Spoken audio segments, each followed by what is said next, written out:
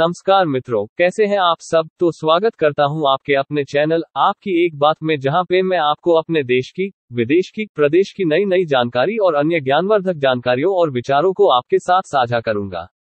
आपको इस वीडियो में पूरी जानकारी प्राप्त हो सके, इसके लिए वीडियो को आखिरी तक अवश्य देखें और यदि हमारी वीडियो आपको पसंद आए, हमें अपने कमेंट करें और हमारा उत्साह बढ़ाने के लिए हमारे चैनल को सब्सक्राइब कर लें। तो आइए शुरू करते हैं। बाबा नीम करोली एक चमत्कारिक बाबा थे। उनके भक्त उन्हें हनुमान जी का अवतार मानते हैं। वे एक सीधे सादे सरल व्यक्ति थे। उनके संबंध में कई तरह के चमत्कारिक किस्से बताए जाते हैं।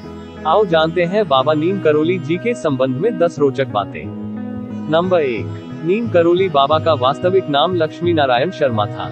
जानकारी के अनुसार उत्तर प्रदेश के अकबरपुर गाँव में उनका जन्म सन 1900 के आसपास हुआ था। मात्र सत्रह वर्ष की उम्र में ही उन्हें ज्ञान की प्राप्ति हो गई थी। उनके पिता का नाम श्री दुर्गा प्रसाद शर्मा था। ग्यारह वर्ष की उम्र में ही बाबा का विवाह हो गया था। नंबर दो, सन उन्नीस सौ अट्ठावन में बाबा ने अपने घर को त्याग दिया और पूरे उत्तर भारत में साधुओं की भांति विचरण करने लगे थे। उस दौरान वे लक्ष्मण दास खांडी वाले बाबा और तिकोनिया वाले बाबा सहित वे कई नामों से जाने जाते थे। गुजरात के ववानिया मोरबी में उन्होंने तपस्या की तो वहाँ उन्हें तलैया बाबा के नाम से भी लोग पुकारने लगे थे।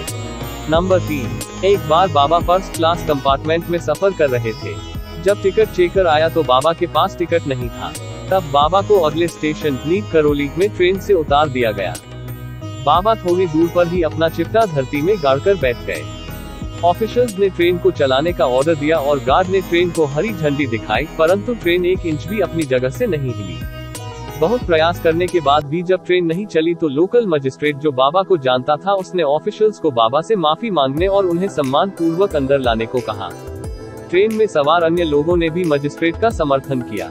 ऑफिशियल्स ने बाबा से माफ़ी मांगी और उन्हें ससम्मान ट्रेन में बैठाया। बाबा के ट्रेन में बैठते ही ट्रेन चल पड़ी।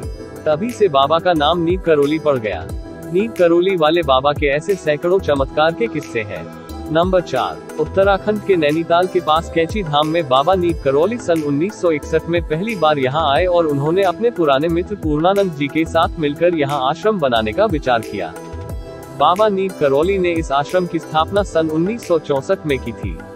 नंबर पाँच नीप करौली बाबा का समाधि स्थल नैनीताल के पास पंतनगर में है। यह एक ऐसी जगह है जहाँ कोई भी अपनी मुराद लेकर जाए तो वह खाली हाथ नहीं लौटता।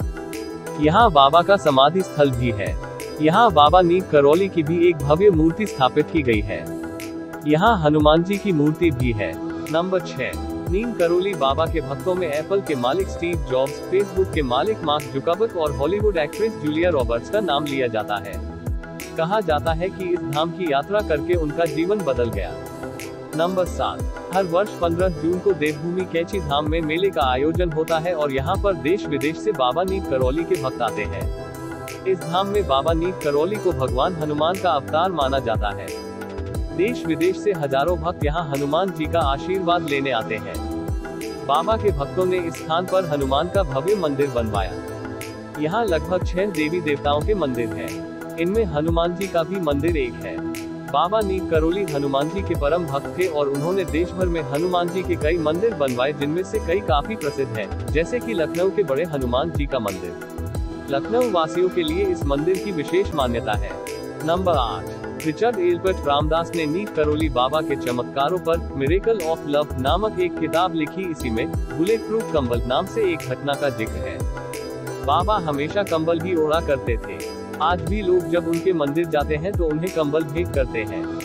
नंबर नौ, बाबा नीत करौली महाराज के दो पुत्र और एक पुत्री है।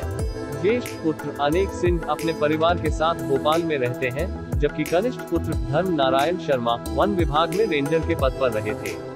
हाल ही में उनका निधन हो गया था। नंबर दस, उन्होंने अपने शरीर का त्याग 11 सितंबर सन 1973 को वृंदावन में किया था।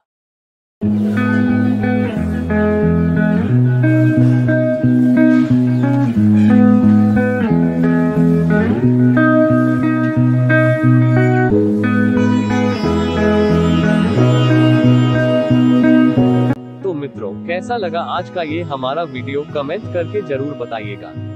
तो मिलता हूँ आपसे अपने नए वीडियो में एक नए विषय की नई जानकारी के साथ। तब तक इंतज़ार कीजिए और नए नए वीडियो की अपडेट पाने के लिए हमारे चैनल को सब्सक्राइब ज़रूर कर ले। नमस्कार।